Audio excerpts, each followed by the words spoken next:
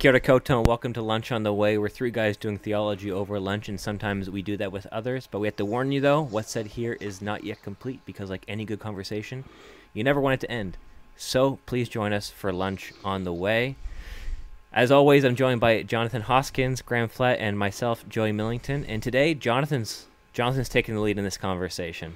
Right, Well, Jonathan? I'll kick it. Oh yeah, right, Joey. yeah, I'm gonna kick us off anyway. Yeah, I'll kick us off, and um, I'll just leave it to you guys because I th- I'm pretty sure you'll you'll know more about this than I do.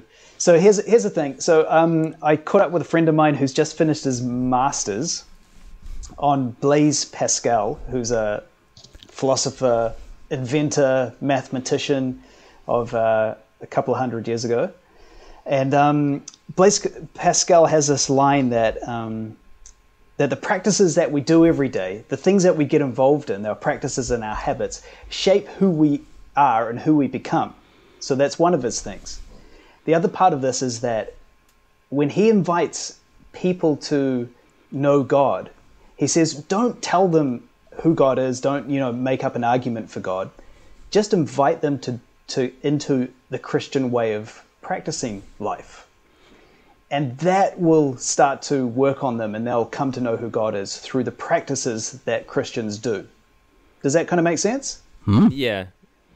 you can i mean you talk to this as well joey because i know that you know some you know you might be able to frame this up better so that's one thing the other thing is that there's a there's a writer called annie dillard who says you are what you do every day so there's no way around that whatever you do every day the things you get up and you're involved with that is who you are that is what your life will be about right so putting those two things together, I, I I'm wondering if it might be interesting for us to think about what are the practices and the habits that bring us closer to God?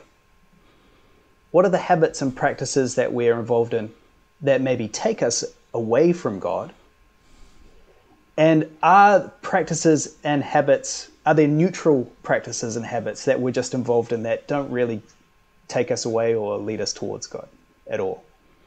So when you shared that story initially, because I did hear it yesterday a little bit, Yeah. um, the thought that came to me was how uh, I don't know if this is true or not, but it's a fun thing to think about. Um, I heard a story of someone who was a Christian, and they, Mm-hmm. as an experiment, they wanted to no longer do Christian things, and to see if they would remain a Christian for a year. Right. Okay. You know, still hold to that belief system. Yeah. So they wouldn't, you know, they wouldn't go to worship. They wouldn't um, read their Bibles. They wouldn't pray, or as much as they could help it. Um, and and you know, just go through the list, and they would just go and live as if they were living a secular life, um, as as they think that anyone who is non-religious might live. Yep. And can you imagine what happened n- before the year ended? Yeah, I think I can guess. Yeah, they were no longer a Christian, yeah. and they completely they they came to believe that oh, this is all foolishness anyway. Yeah. so that when I hear heard what you just said there, it made me think of, oh, is there did that person become a non-Christian because they they got outside the community of faith? Did they become a non-Christian because they no longer did things that actually result in belief, which is action? Or did they become a non-Christian because they actually became like came to an intellectual conclusion as to like how from their perspective foolish Christianity was? Or is it all kind of playing into it? Um, Yeah. because it seems like from I guess you know from a pastoral perspective, I'm like, yeah, well, no, duh, that was the result, right? Mm-hmm. Of course, that was the result. Um, you're no longer living as if you believe, therefore, you actually don't believe if you don't live like you believe. Yeah. That's what comes to mind when you tell that story. I don't know. What do you think, Graham?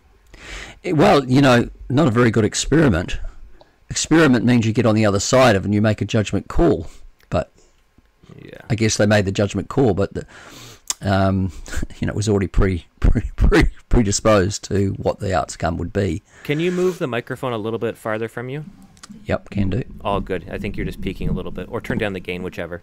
I'll turn down the gain slightly. Is that better? Yeah, go for it. You got. Okay. You were more excited in this in this moment than you were testing the mic earlier. Yeah. Um, well, just I was just saying, you know, that it, as an experiment, a person saying, you know, what were they experimenting? I guess the outcome was fait complete, really. Yeah.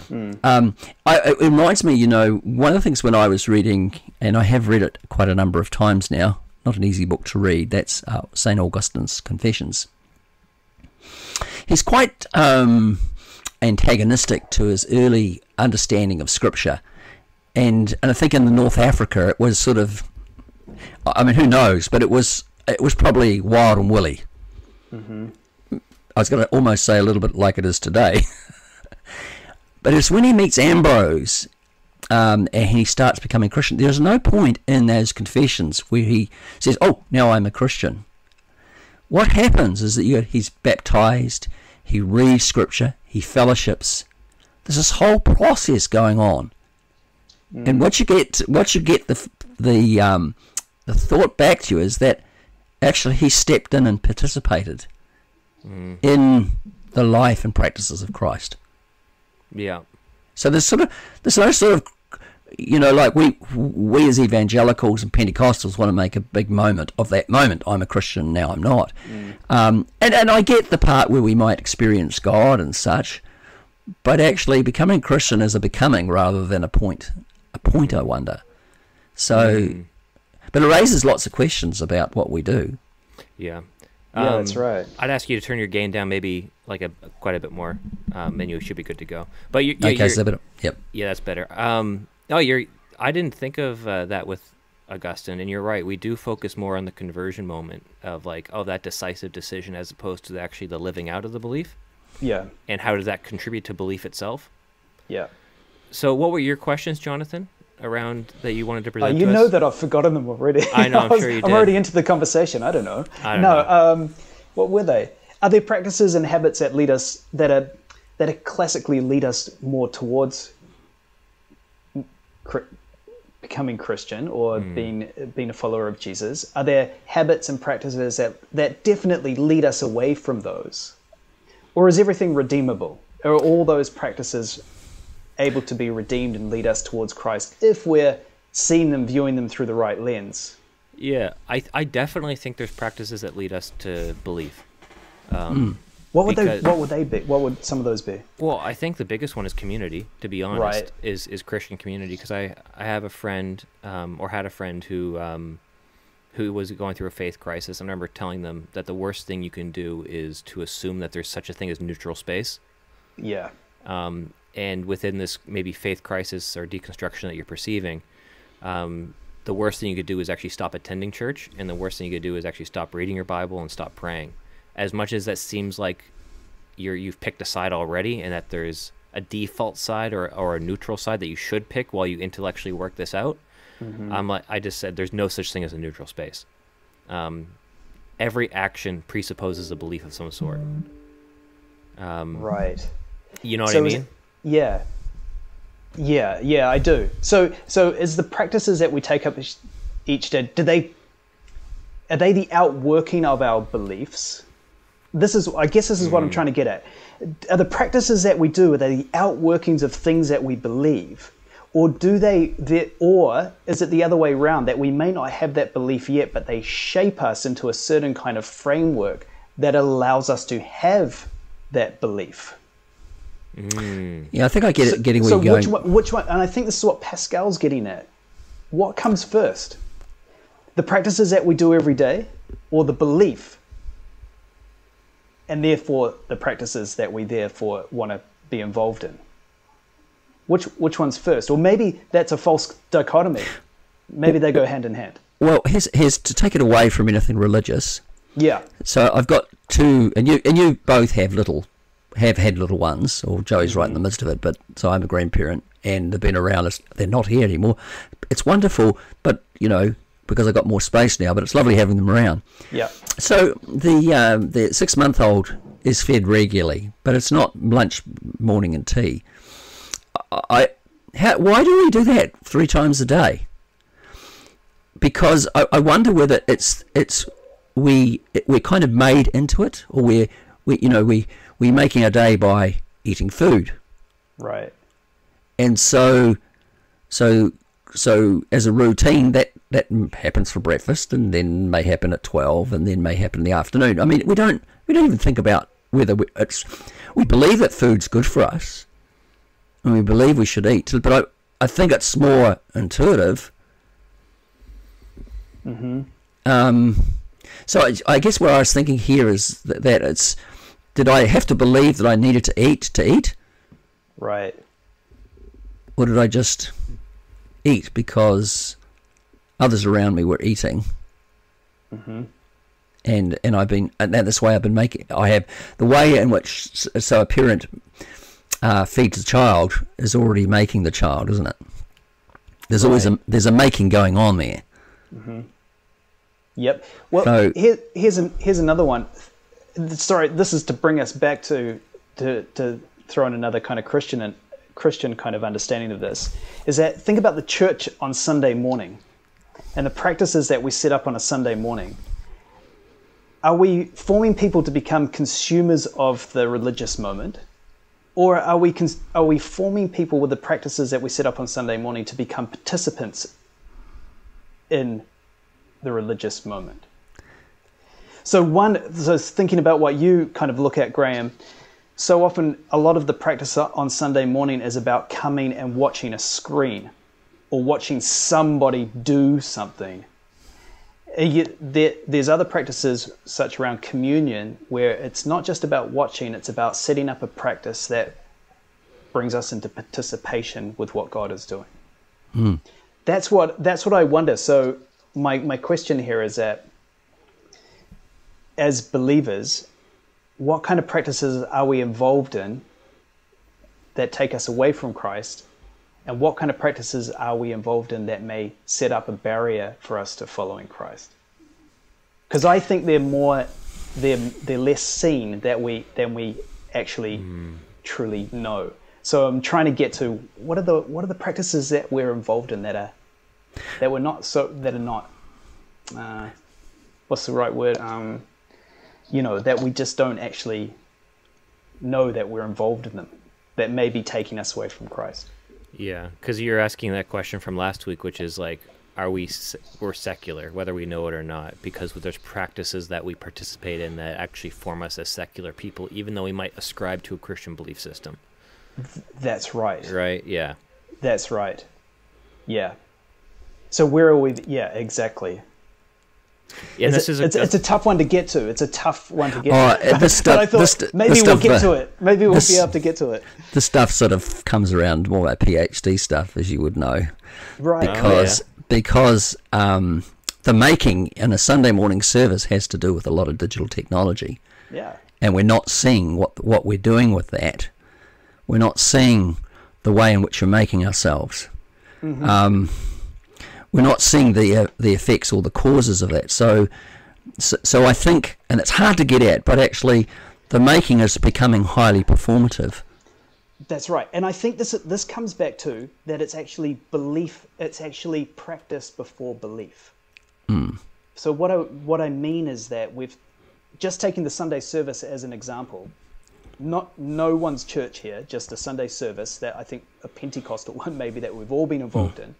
Often we sh- we're shaping people to be consumers of the Sunday morning, consumers of the Sunday morning. We turn up to watch and to listen. Now that once we practice that weekly, in and out, yearly, over and over again, our belief becomes that's the way that we should be interacting with God. Hmm. That becomes the belief because it's formed through the ritual, through the practice. I think that's what Pa- Pascal's getting at. Yeah. That practice comes before belief. And So- if we if we shape people in the right way, they will come to believe that that is the way that you come to know God. Mm. Does that make sense? Well, I mean, obviously, it raises questions about which I think are, is a very legitimate questions for us to ask. Is so, the Sunday morning, how are we forming people? Yeah. What How- or how- what how- practices are we involved in Yeah, and and that, that may be shape our belief? and that may even be scrutinised to this. Um, somebody was telling me the other day, uh, and I was a little surprised that they were using a on the PowerPoint the clock Mm-hmm. countdown for the service to start. Okay. Okay, that's a practice. what- what shall- so yeah, what are we okay. saying? What you are we like saying? that? Why You're didn't you like some it? feathers. Why Well, didn't I'm you like going. so, but what are we saying? That's the point. What was it saying? What's it Well, saying to you? well, it says to me somehow that that that the service starts here and it ends here. You know, I'm just I'm just not sure. I think we, to me, I'm going. I'm just not sure that that's what, the question. I don't think has been asked is what pedagogical uh, significance does that practice have? And nobody's asked the question. It's true Because it's something that you do. Nobody's thought about it theologically. Because the pragmatic response would be, "Hey, we just need people Well, to get in their point. seats at a certain That's time." that's right. That's a good point. Yeah. That's a good point. Then you're going, Yeah. well, so what, what are we actually communicating theologically about time? That's a classic example. Exactly, because the practice shapes the belief that the service starts at this time. But So the- what are we but the saying about God? The practice comes first. Yeah. And what are we so saying? interesting. And what are we saying about God? And what's it say about God? Yeah. That the That God turns up at this moment and not the ministry not now. one second beforehand. Yeah, Now, yeah. people say, "Oh, you're just you're nitpicking," but no. But my point is, we're not thinking theologically about the practices that we are. We are actually all the little things that we're doing to make ourselves and make this moment. Yeah, that, I think that's it. Yeah, and that's and you could say what practices aren't there is um, you know I think again I don't want to be critical of my own church but I think you say in an Anglican church I think is but where are the practices where we greet one another right. you know genuinely greet one another what what does that practice look like Mm-hmm. or is that practice pushed out because the time doesn't allow us to do that because Right. that's considered not important so I think that we're not really thinking about the practices that actually are part of our worship. And then what are we are we asking? Are they participative practices Yeah. or are they practices of performance? I think that's a really interesting question. Well, Graham, you have a right to be uh, a bit more good. vocal in your your critique because uh, you're older, but also, you know, you got you're sick now, so it means you can say what you want, right? it gives you license to say what you want, Yeah, yeah. so you you don't need to pull any punches. yeah, well, I mean, I, I, I, I, I really do think that we d- we don't think about the service. We're so driven pragmatically. We're not thinking about how we're actually forming people. And, and you say, well, Sunday service isn't uh, it? No, but the collective communal practices that we're doing, they're significant. Right. So, how often are we practicing communion? Yeah, that's a big one. And how are we doing it? yeah. Because if you want to get into the participatory aspect of it all and participation in Sunday morning, and I know we're this we really should be talking about you know belief and action, but if we're talking about participation and what that communicates, you ought if the, if there's nothing else in the service, there ought to be that because everybody can participate in that. Yeah. You know, um, I mean, Yeah. to use a, an educational term, this is the hidden curriculum, isn't it? Yeah, it's the, yeah, it's the co-curriculum or implicit cu- curriculum. It's Yeah. the um, yeah, and and that I think if we think about that, gives us the provides us to think about the essence and the form, Right. the the Yeah, well, ecology, exactly. the ecology. Mm-hmm. Yep. Because you could do practices, a whole lot of right practices, but be then it could be just emptied. Right. Yes. Or or does or can the practice, even if it's empty, carry a tr- carry a greater truth?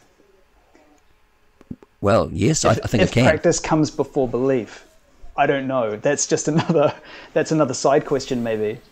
yeah, because I think what we're having a conversation now is people in house, like those who claim to have Yeah. Mm-hmm. a belief in in you know Christ and and Yeah. belief system within Christianity. But what does that actually mean for someone who isn't a Christian? Mm-hmm. Does it does it mean that is there some level of action within society that actually leans someone towards having a belief system that reflects that of Christ? Um, or is or is belief in Christ purely like creation out of nothing? You know, like a moment of the spirit kind of renewing the heart. And, Right. and then, you know, action then reinforces belief. Or like Yeah, how does yeah. that work within, you know, uh, a conversion kind of moment? Yeah, exactly. I'm not entirely sure, you know, because obviously we live within a, even though it's secular, still Christian. I would say in a in the large like morality scheme of things. To be honest, things are changing obviously, but they haven't changed that far from at least saying, oh, so much about our society is actually very Christian, even though they're, it's not Christian in name anymore. Yeah. Um, but when you go to maybe countries or, or nations or people groups that there is no, it is it is very clearly this is not a Christian, you know, people or group. Yeah. And you Yeah. try and present the gospel, it's like it's hard soil. Like it's it's difficult to even see one person come to know come to faith in like a decade. Mm-hmm. Um, why is that? Yeah. Is that because the actions and, and the and the belief system that is reinforced through action doesn't actually allow for that to happen easily, for the belief to even come out easily? Yeah. Um, because you believe that God's spirit is working, um, even in places like that. But what does it look like for God's spirit to for that to be the case? And then I think of like contexts like say America, where a lot of the population is at least culturally Christian, and some would say like nominally Christian. So for them to quote unquote come back to Jesus or come to Christ, um, it's an easier step because they're already doing a lot of the, the action belief steps. If you if you know understand what I mean, right? Yeah. yeah, I do. Yeah. So, yeah, so it, there's a lot of things going on, and that's where I'm like, well, it's hard to compare, say, New Zealand to the U.S. or to Canada or the U.K. or you know Western Europe. It's so hard to compare all these places and to like assume so much about you know models or ways of doing ministry or ways of you know helping people come to belief. Yeah. It's all so different uh, because it, it's all the starting points are at a very different point within that like belief and action spectrum, if you will. Yeah. Yeah. Yeah. I mean, this is it is this is what you're talking about with practices. It's classic um, James K. Smith Yeah. uh, Yeah. thinking because Yeah, absolutely. I mean, I mean, his thesis in his uh, desiring the kingdom is basically there are there are um, secular liturgies, That's right. and and I, Yeah. and and he talks about uh, th- I think thin and thick. I think that's another helpful c- Yeah. category. Yeah, you know yeah, what yeah. are thin ones and thick ones. Um, Thin is it thin places and thick places? Is it? Yeah, Like, yeah. yeah. I just can't Thought he- remember.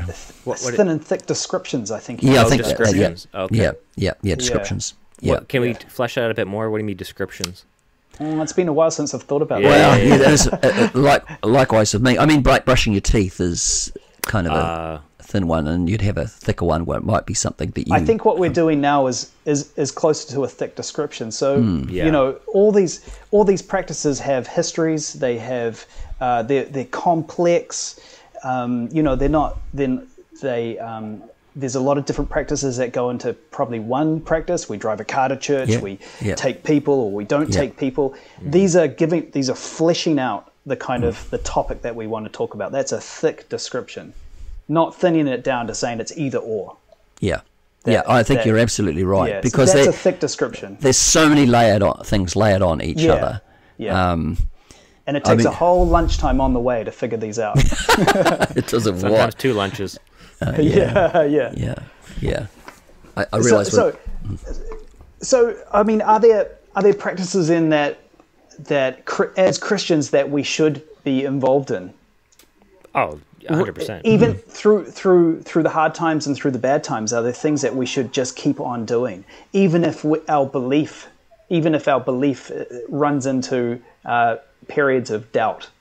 Are there things that we should keep doing? Because if we don't, coming back to your story, Joey, are there are there practices that will definitely lead us away from from Christ? a hun- like a hundred percent. Like this one, I go to this one really because sometimes you got to put your money where your mouth is. Yeah. I think I think giving is actually hmm? is actually Oh, a big wow. practice. Yep, yep. I wasn't expecting that. Yeah, yeah. When Yeah, you said I, I, that, I agree. I think that's Wow. actually one of the sneaky thick ones. You know? Really? Yeah, yeah, hundred percent. Because Can you thick, thicken that one out? Yeah, yeah. Well, it's just like because it's a level of commitment and like faithfulness and and say oh and it transcends oh, i'm not really feeling it this week or oh, I- i feel that like so for example if you show up on a sunday morning or you're part of a community and you're saying i'm not really getting a lot out of you know gathering together and you know the ministries of the church in like the recent in recent times maybe i should stop giving you know? Well yeah. then you're you're being formed into, into a consumeristic product driven Yes. um, receiving after you know uh, after giving you know? It's like a transaction at the supermarket essentially is what you're doing with your christian formation. Wow. but also on the flip side even when you have moments of doubt it's like well i'm not sure if i'm really sold out to this thing. Um, but you know i still give my 10% and it's like well i'd say it's still important to do that or to give. I'm not saying what percentage is impor- is relevant um, but it's still important to give because it's still saying i i still trust enough in this to Wow. like to, to put money where the, my mouth is. And i'd say even in hard economic times which you know many people are going through right now you might say oh the, like the secular reasonable thing to do in this moment would be to uh, maybe just like stop giving for a little bit uh, until things get better. And i say no no no no no. Because that's a lack of faith and a lack of trust in, in god's provision for you and Wow. and everything that you have is not yours anyway you're simply just stewarding it so who are you to say that out of what god's giving you you shouldn't give anything onward to maybe something else um, wow. and I know we have bad images of you know giving money to churches because of a lot of you know caricatures of of that in the past. But at a basic level, what you're doing is you're essentially just supporting the community of faith, and you're supporting the mission of the church in your local context. And and it's beyond consumerism. It's it's deeply forming you as a person, as to say, I spent time to earn this, and to Yeah. receive this within the marketplace um, and I'm willing to to give a portion of it away um, because I know really where this came from, and I don't want this to have like a stronghold over my heart in my life because I know what that can turn me into. Wow. I think You know, I think so I went with money right away, which you know I don't think many people would. No, I, that's a great. Well said, man. That's I, awesome. I, I would 100% agree with you, you know.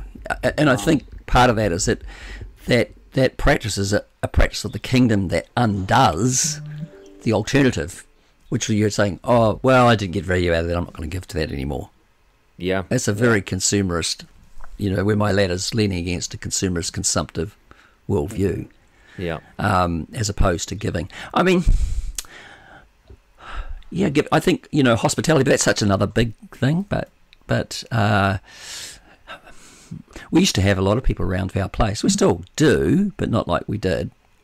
But the practice of having others in your home Mm-hmm. is is a an important practice. yeah. Um, and I think there are little sub practices on that. I mean, one of the practices that, that that I've I was brought up to and I've done all my life is we always say a grace before a meal. Yeah, Right. And you know the, the joke was the grace is just about the same thing every time. I thought that's not the point. that's not the point. Yeah, It's not the point. Yeah, we used to mock a father. It used to be a sort of almost one word, as he'd pull all the words together, and, and you know, and he'd, he'd be a bit mocked about it. But it, but the point was, it was a practice that you, you're eating food, you're acknowledging. So you're acknowledging the provider. Yeah. Mm-hmm.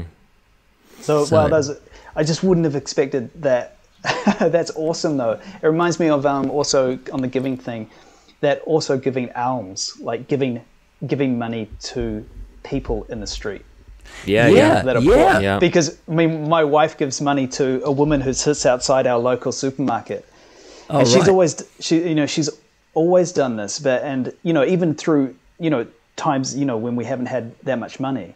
But what it does is that it's a it's a practice that enforces a belief yeah. that that there's other people that are needy, more needy than we are, Mm-hmm.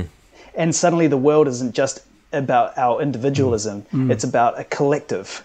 That we're all in this together, and that if I'm rich and you're poor, then I'm going to be poor, It- probably in spirit. Mm-hmm. Yeah, So yeah, like, that's yeah. a re- that's a really good point.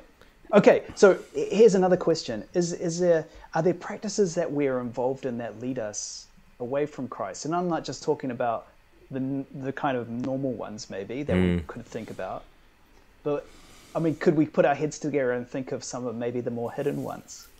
So, so to preface, uh, to to finish the first question really quick. Obviously, Yeah, there, obviously there's prayer, there's fellowship, there's worship, there's you know fat, there's all these stereotypically important Bible reading type practices that we didn't talk Right. about because they're they're just self-explanatory. Yeah, Um, so just just for the record, um, yeah, but yeah, so the ones that push you away, yeah. that's uh, yeah, And on top of that, I think it's worth reflecting on if you are involved in those practices already, to reflect on what belief is this supporting. I think that's an also that I think because I think they speak to each other. So it could be with, you know, hey, I'm involved in this practice. What, what, what is this practice doing for me? Why do I do this? See, this is it. That's a really intense and I think a bit of a sneaky question Cool. Because I like sneaky questions. it's a sneaky question because I think people are thinking, well, obviously, like, you know, maybe like excessive drug use or um, Yeah, yeah. hanging out with people who have such an influence on you they begin to turn your heart away from God. Maybe Yeah. like people might lean towards that. But what I'm thinking about when you ask that question is, what practices as Christians do we do that kind of tame the fire that God's placed within our heart? That's a good way of putting it. Hmm. That's right. It, that's the question that I'm thinking of because Yeah, that's I what I'm thinking of too. I would think that there's a lot of people who who would have would have been identified themselves as Christian for like decades, but there's Yeah. been no really serious growth within them over those decades. And why is that? Oh man, that's such a good way to put it. You know, mm-hmm. because and people like I've I've interacted with people who are you know in their older years and they lament about that when I bring up certain topics in, in church where it's like, well, I've never heard that before or heard that phrase like that. I didn't even know um, that that's a thing, you know, because they might just be waiting for heaven, you know, and that's within their theology.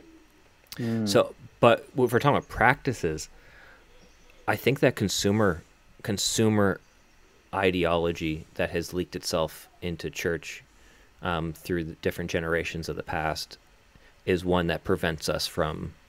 I wouldn't say it makes us unbelieve, but it makes us unbelieve in a sense of like, do you really believe this? Because your actions haven't really uh, Yeah. followed through with the real call of the gospel and what Jesus is asking for you to do. Yes. You know, that's Yeah. the kind of stuff. I don't know. I think of consumerism. What are you thinking, Graeme? Like, what are some things Well, that like that? I, I I think it's helpful to have communal practices that we would practice as a church together yeah, as a kind of category with soft ends on it, and then individual practices that might push us away. Mm. If I went to the communal one and we went back to the the importance of the practice of giving, I wonder because we now do it all by banking, mm. there is no bodily practice within the church that I go to of giving. Mm-hmm. There's no bag that's handed around. There is something said from the pulpit, and I'm not necessarily criticizing it, but I'm just saying that's one of those sort of soft things that's been eroded away because we've found a more efficient way to do it. Right.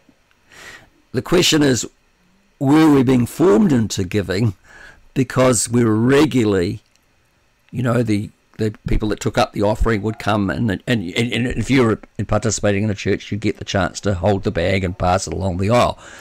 Yeah, I mean, we kind of laugh at saying, "Oh, yeah, it's really man, uh, not manky, but isn't that sort of?" But I go, well, actually, what have we lost? yeah. The efficient way of doing it means that we just it just doesn't pop up. Well, I don't it pops have, up, you know, yeah. I don't have an automated like our church does this. We still pass a bag around. Um, Oh, you do. A lot of churches don't. Yeah, well, and very li- like maybe less than two hundred dollars is in the bag, right? And a very small percentage of the weekly um, Mm-hmm. giving, and then people bring to the front at the altar like uh, food that we donate to the food bank as an offering as well that people drop off on Hmm. Sunday mornings. Um, but most people do it on, you know, give online. So Hmm. what's fascinating though is that obviously many churches are into an automated system where you don't have to think about it anymore. It just gets taken out of your bank account, right? Because everything's automated. So why not? Um, I remember thinking that I don't want it to be automated. I want to actually, I want to actually do it myself every single time I give. And we, my wife and I, we have a, a rather like str- not strict, but like intense descripting bud- budget. So like every dollar is accounted for in within our bank account. And sometimes I, I don't physically make a bank transfer or give or put money in that you know metaphorical uh, basket every week but sometimes it, it piles up to a very large amount. And when i have to do that e-transfer and take that large amount out of my budget app i'm like ooh that hurts a little bit you know? Because it's like that's that's two months right there of you know of weekly giving accumulated. And then boom it's out. Yeah. and and to me that that feels like i'm putting you know we're putting money in the basket. And but it's you know and it's a very conscious thing that i still do as opposed to mm. it being automated. But yeah so you're what you're saying graeme is not that that leads to unbelief, but that we're we're being robbed in a sense of of a formational kind of practice that could mm. form us into greater belief, if you will. Mm, and it may be that we just need to think about it a bit more. The what what are the what are the significant pra- communal practices for us as a church community, mm-hmm. and and then how are we doing them? And and what you know, there, maybe how we once did them doesn't really work that way. But how do we how do we do that? I've often thought about sort of you know the the importance of of um, communion or Eucharist. Uh, I'm not a pastor now, so it makes me really easy to say this because I don't have to enact it. But I often thought if I was, I would start trying something like asking a group of people whether they're interested in baking a loaf of bread, getting to church early, and baking a loaf of bread. So we were ready to eat that Yeah. at communion time. Mm-hmm. I, yeah, and you probably And- have a lot of people who would see that as like a holy yeah, exercise. because what I say is the people that are making it, yeah, the people that are getting it ready, and the people then we participate in this live moment. Now, to me, all those elements are highly participative, which then brings back the sort of this is Christ's body broken for you. Yeah. You know, you know. Um, I mean, it's just trying to think think it through more. yeah. That, It's- that that that it's not just oh there, that there, there are sub practices involved in this to get to this that Yeah. makes this unbelievably a significant moment for us. It's an invitation Yeah. to think more broadly. I mean, there's all the practices that we normally do. Great, keep doing them. But think more broadly about the, the mm. practices that we do weekly that we might just take for granted. How are they forming us? How are they shaping our, our spiritual life? Like the clock countdown. Mm. You know, that's a classic example. Mm. Think about all the things you haven't thought about. and ask people to, you know, think about the practices that they see we're involved in, maybe that we don't see ourselves. I think that's a that's a really it's a great practice maybe to to try and do with your congregation or with what do, anyone. you, what do you think, Jonathan? So we didn't really touch too much on like those explicit practices Yeah. that might lead to unbelief because it, it's actually hard for us to reflect on that, to be honest. You know, what one you of the think? things. Yeah, yeah. Maybe it's my uh, age and stage in life, but one of the things is yeah. What and maybe getting to the end of um, well, hopefully the end of a PhD is careerism. I think that's a hidden idol in in our in the Western world, and um, and I think it's a practice that we could that we need to think about. For for one thing, where the practice is that we always want to get the next better job, that we always want to get one up on the ladder, the career ladder. And I just wonder if that that it's a prac- it's a ladder that takes us away from God rather than to God. Uh, I don't know. That's as far as I've got with that. Well, but but it's everywhere. I see it all the time. You know. I'm preparing a lecture talking about the life of the Apostle Paul, which is, you know, a big topic. Yeah. And one thing that I'm struck with by his life, yes, he's unmarried. He may have been married before he was a Christian, um, because the word he used to describe himself is a single person, or it could be used as a widower in the context. So he could be a, he could have been married, but she may have passed away or something. Um, but he he lives like a, a sense of of not freedom, but freedom and movement yeah. where he's not bound by some of the classic idols of the day, Yeah. which is like the family unit, which is not a bad thing. It's a good Yeah. thing, but it, it frees him up to to be able to be, you know, to whimsically be called, if you will, by the spirit as the spirit kind of blows. Yeah. Um, That's not to say that he's a model for everyone. If that was the case, then there would be no more humans because no one would give birth anymore. You know? Yeah, So, yeah, yeah, yeah, that's um, right. It's not a realistic for everyone model, but it's like, well, what about what can we learn from, say, Paul's life as to how he lived his life Mm-hmm. and the things that he kind of unrestrained himself with that Yeah. allowed him to to fully act within the belief structure Yeah. of following Jesus as Messiah. Yeah. Um, Yeah. I, I wonder around yeah. that too. Is um, so Paul never gave up his trade either. Yep. no, no. So yeah. there would have been these practices of refinement in terms of his craft, Yep. which also I would think that that actually fostered that, but that may have been the, of the social context of the ancient world. Yeah. But- uh, yeah, my worry with careerism, if we were going to thicken that that description, is that um, it's a practice that, you know, what's that practice involve? Often it involves one-upmanship. It involves kind of perfection of of your life and ideas. So you've got to you've got to be better than the next person, and that person does isn't allowed to to then rise into whatever their career is. I'm just saying if you, if careerism becomes a becomes the practice that you want to work your way through life in, it um, and that's your only focus, then that practice it does say something about what kind of life you think what what the good life is. Yeah, I was going to say that. And- that's a question there, isn't it? What is the good here? Yeah, that's right. What's what is it? Career for career, yeah, or is it career for yeah, the good, the And- kingdom, or that's or- right. Yeah, and the and the practice is you know what is it to be blessed? What is it to have a good life in god? And i think my my personal thing is that that should be that should be the practice of this time of mm. my life. Mm. But i'm not sure if that's a great blessing. I don't know if that's a practice i want to participate in No. because i don't know if it actually brings me closer to god or not well, I Yet remember. it's the practice that's most open to me right now Yeah. yes, Yes, So- exactly. Because you can do. You need to find work, right? You're done your PhD. exactly Yeah. it's it's the expected thing Exactly.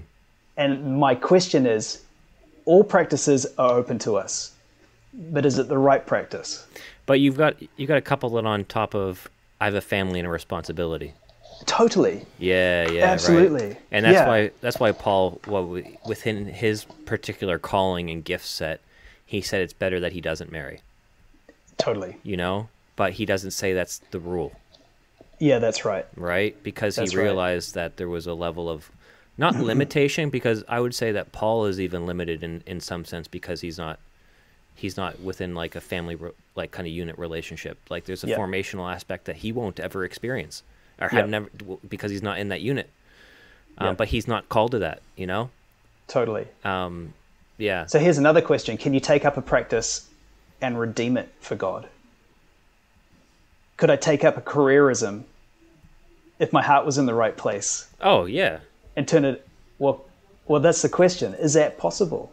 Or are there some practice that are, practices that are simply lead us away from God? It reminds me of the story of that Lyndon Drake gave when I had it from a lecture about work and faith. Right.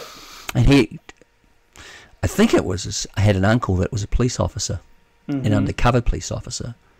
Right. I can't, the story was, it was a sad story. Yeah. Um, but it raised the question, which I found very, very difficult to.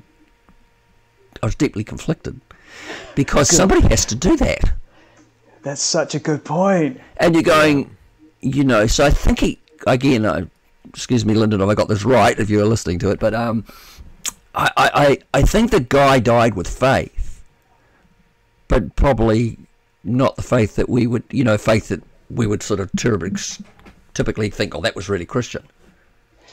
Wow. But it's, it's, it's very challenging. What about the guy? I mean, I've read some stories recently of, um, so the story of this Ukrainian soldier, and basically he's the last man standing. The others are dead, and the Russian soldiers are coming, coming, and he, so he really gives his own life, but he takes a whole lot of lives of others. Now, well, I mean, he's dead. He can't really say anything, can he? But uh, I mean, who does that though? Going to war sometimes is not a choice. I, I don't want to. I don't know. So it, it, I'm only making this more complex for you, Jonathan. so it, which would No, then it's great. then it would Push, This is the thickening. This is Yeah. the thickening. then it Yeah. would push this idea that whatever I am doing, I have to have a consciousness of of you know that somehow God is in the midst of this, and somehow this is redeemable. Right.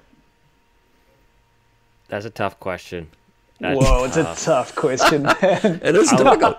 I think some things are easier to redeem than others by how you conduct yourself.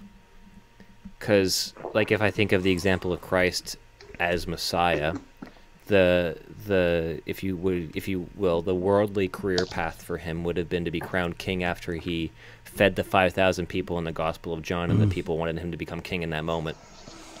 Right, mm. and mm-hmm. with all of that, you know, if we think of it as a career aspirational moment, he obviously knew he was gonna he was he's king. He obviously knew it. yeah, But how did he redeem it? by not taking it on. He redeemed it by rejecting it and dying on a cross. Wow. Well, he, yeah, he he rejected the form. He rejected, Yeah. Drop. but but isn't it here? He rejected the form that we thought. Well, exactly. That- he, re- he that's true. rejected. He He didn't. He, rejected didn't the not form. take up kingship. He just No, rejected exactly. the form. He rejected the form. Oh, that's a good point too. Yes. So then, within say careerism and, and climbing the corporate ladder, or if that's the expectation that everyone else wants to assume onto you, then what's you know what's the Christian perspective on that? Is it to reject all promotion? Probably not. But under what circumstances would you reject, you know, certain elevations in status as a career? Or when you're in war, what does it look like to be a godly soldier? Like what is like you know Yeah. like that gets tough. And how could you take the promotion and and and show it in a different light? Yeah. Mm-hmm. Like how could you take the mm. promotion and be a different kind of leader? Mm-hmm. because the big the way people Yeah. explain it is like Christians don't necessarily like diminish like remove their power that they might have within society. They use that power to lift others up, right? Right. So is it a little bit of that, right? Is it well, if I am promoted to the say, you know, CEO of this organization because people see me as this and five other people didn't get the job because they saw me as the right candidate and therefore I make more money and they make less money. Um, and I can service my mortgage to a better extent than they can Yeah, yeah. um, then what would be the redemption within that? Would it be like maybe I can be a positive change to bring everybody else up within the company as a result? wow, that's awesome. You know, Yeah. not to say that you're guilty because you are competent. That's not what I'm saying, but it's to say with that level of competence and level of persuade, not persuasion, level of influence and power, how can you be a positive uh, influence to the whole or a positive, um, a po- yeah, positive in general for everybody, as Oh, opposed yeah. to seeing you set up against everybody else. I, I was That's just thinking. great, man. That's great. I was just Good thinking reflection. of um, you know, careerism. So um, Lewinsky, uh, Le- the leader of Ukraine. Right. Uh, what was his name?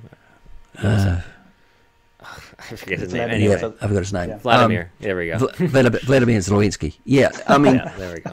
I mean, it's quite known it's quite wide, widely reported that the Americans said to him, "We'll get you out of here," Mm. and he says, "No, I'm not going to. Li- I'm not going to leave," knowing his own life was likely to be taken at Yeah. some point. I mean, and the world, and, the, and we all stand back and go, "Oh, that is unbelievable." yeah. So I, I, I- I guess what I'm saying there, in the midst of, I mean, he probably two years earlier, I don't know when he became the um, leader of the of the of the government, but a degree of careerism sitting in that. You could be the president. He did a, a comedy show about being the president, and now he's the president, and everybody takes him as a joke. Hmm. But but yeah, and he probably thought, wow, you know, I'll be president. But but there's a form that he's taken that has that has changed the world in the sense that he did he didn't leave. He he took another path, and I, and I wonder whether that's part of That's it too. I wonder is that that it's the form that we're you know how how does the gospel play through that, whatever that is. Mm. And, that, and that's not easy questions when you get to um, undercover undercover police and and some of the more darker um, Yeah. professions that we have. I, I go, uh, um, you know, h- how do I be a good E CEO? Wow, Yeah. man. Both your answers have blown my mind. It's awesome. I think we I think we're gonna end it there. I think we're getting yeah, past our that's so past our good, time. guys. That's so good. Yeah, Yeah. great conversation. Yeah. Yeah. No, thanks everyone.